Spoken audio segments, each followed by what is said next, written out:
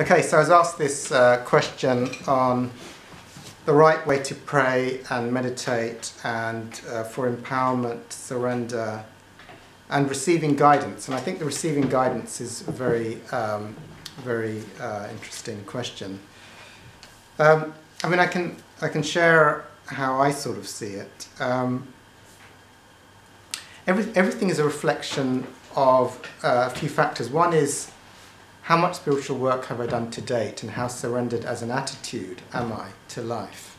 And how much do I go to my thinking head um, to figure things out? But you know, the question is about the levels of empowerment, the levels of power, authentic power, are related to, for me to how much repressed feelings I've let go of so far. And that can also be in a general thing since I've started my spiritual journey. But if a sudden sudden issue flares up and there's suddenly a lot of fear and a lot of indecision about what's the right course of action to take. But it can also be like, well, how much of these repressed feelings have I felt in connection to this area? And, uh, and how much mind chatter uh, am I having of, of uh, fear? And all, so, so I'll just take it down to, so the general guidance is general spiritual work will take, will sort of clear away the ego and you'll go to higher, higher levels in general, higher levels of consciousness. So you'll generally be operating on a level, like if anyone's done work, spiritual work for like a few years, usually how you, you can't remember, you can't remember it, but how you were, how much thinking you were doing and how much fear you were three years ago is nowhere near. You're operating at a much more surrendered, serene in general, and more intuitive and trusting state than you were several years back.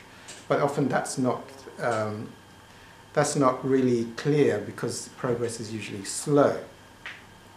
So that's a general level of power. I mean, you know, when you get to the higher levels um, of connection, then you start to go more into, can be described in different ways, these flow states, or, or when you're, uh, when it, there seems to be a witnessing of life unfolding and things tend to synchronistically, synchronistically tend to happen and one tends to be much more intuitive and much more trusting that everything will be fine.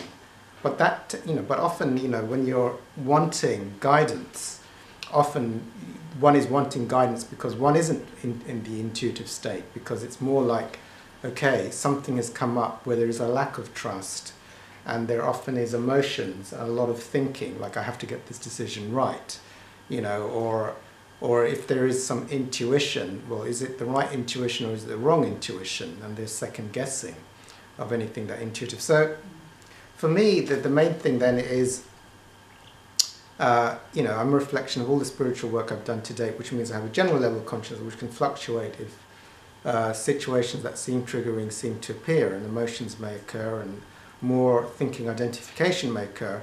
To get uh, the guidance uh, the thing I usually do is if there's any feelings, to, to feel those feelings out.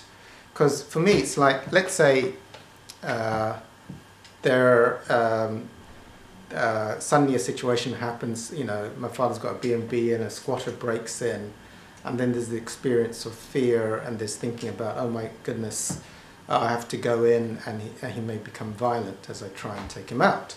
So that can, you know, bring up. So it'd be like, okay, I was I was in the observer and I was serene, and now suddenly there's fear, and there's thoughts of is he in the place waiting around a dark corner to ambush me mm-hmm. when I go and uh, so, so so there's this thing. And so I know that when I'm when you're in these serene places because you've processed everything and you're witnessing and life is flowing, that's all great. But what about when these situations arise? Mm-hmm. And um, then for me, it's like, okay, so it's a little bit like almost temporarily I've gone into fear and thinking. And when I'm in fear and thinking, you know, it's like I'm going down the scale and I'm disconnecting from that intuitive intuitive guidance. You know, I'm sliding down, I'm more in my thinking and my fear, and I might get more identified with the body. So suddenly it's like, okay, and this is totally for me then the wrong place to be getting any intuitive guidance from God it's like, well, now I'm getting, I mean, I'm identified as a limited fear-based body that's trying to think and work out the solution. So of course I know that anything that comes to me when I'm this low vibration, is going to be useless. You know, when I'm in fear and, and very identified with body and the thinking mind, I, uh, the one thing I do know 100% sure is that everything, all the thoughts are coming from fear, and this body identification is cutting me off from flow, intuition, and the right answers coming, the optimal answers coming, so that the Holy Spirit or grace can deal with the problem or guide me or use me as an instrument to deal with the problem. So I'll quickly spend as much much time as I can feeling everything out, going to the observer, letting go of anything I think, uh, realizing. But when, as you're doing that processing and also handing everything into God's infinite light and love, I place whether this tenant is in the property or not into God's infinite light and love. I place all of my thinking into God's infinite light and love. I place if I get murdered into God's infinite light and love. I place all of this, you know. So it's like just just just let it all go, all this crap that I'm holding on to. And then I, I know from years of experience, as that thing goes, the likelihood of a positive outcome is already increasing mm-hmm. because that fear, and even if I go in there with tremendous fear and thinking, even that I, I know is not good for me. Mm-hmm. You know, if at all possible, I'd rather not go into the property, you know, in terrified panic and fear and trauma, and then have to deal with a guy, you know, looking around the corner. I'd rather go in when I've cleared the fear and trust intuitively that, you know, um, things will be okay. So that's the one thing. So if there is an urgent decision, I'll try and clear as much. Let, us say uh, the decision has to be made if it's a finite, like you've got to make the decision by next week and you have to do it, then I'll process as much and delay the decision. Uh, and also, here's the thing on answering about spiritual guidance. Uh, I'll answer it two ways, and I'll also answer the bit about the right prayers. And also, now here's uh, that's actually, actually a great question. Thank you for asking of me. Um, the thing is, like, a lot of people say to me, like, you know, should I do it or should I not do it? I want God to let me know the exact thing, you know, like um, should I should I go in tomorrow or should I not go in tomorrow? Like I want God like a thundercloud to speak to me and say, okay, this is the right choice to make. You are definitely going in tomorrow. You got my okay, go, go in.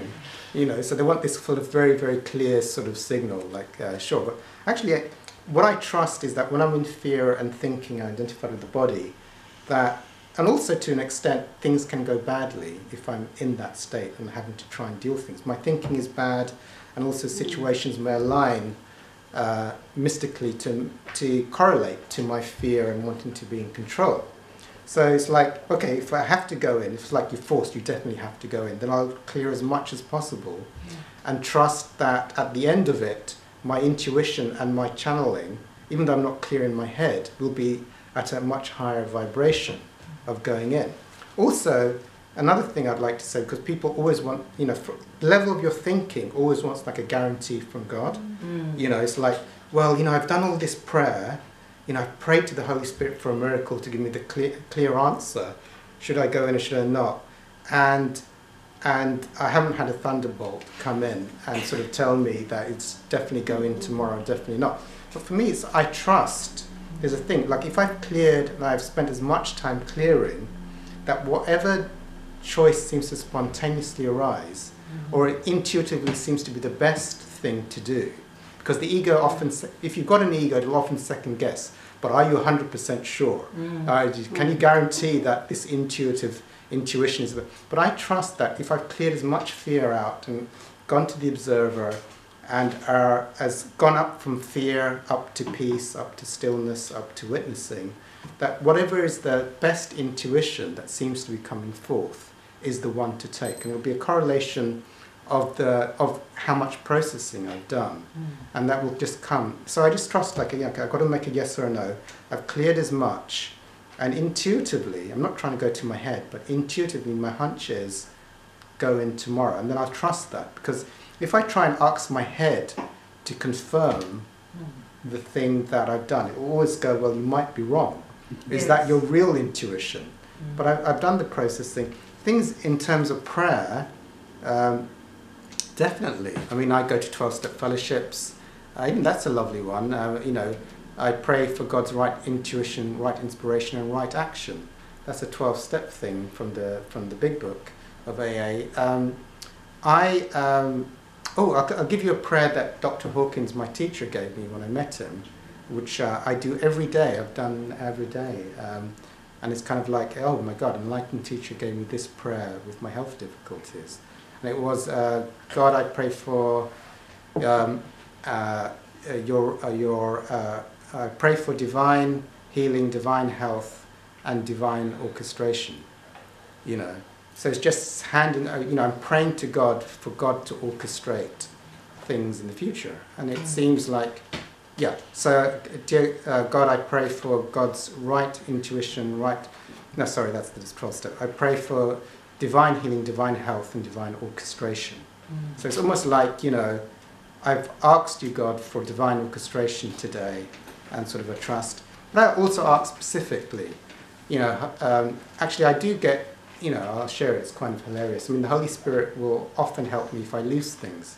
I'll often pray to the Holy Spirit and say, like, where have I left my socks? and, and, then, and it often does give me quite quick answers. It's like, well, check and check over there in that room, and there will be my socks. But um, anyway, uh, um, now, uh, yeah, so um, you know, Holy Spirit, I just pray for uh, uh, right guidance in this. Another thing that Hawkins shared with, with me is uh, to pray to the Holy Spirit of God for the truth to be revealed in this situation. Mm. So often, um, when there is an active thing, I know my ego is filtering it through through a fear-based lens. So, dear God, I, ha- I ask you to see the truth, you know, uh, in this situation, and ask for divine truth to be revealed um, is another thing. So yeah, you cannot even talk to God, like Holy Spirit, like try and give me some kind of clue or intuition of what's the right thing or help me to clear. But I really look more on sometimes, you know, very strong intuitions and guidance will come through.